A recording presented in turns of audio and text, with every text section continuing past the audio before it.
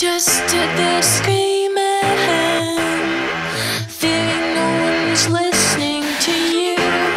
You say the empty can rattles the most. The sound of your own voice must soothe.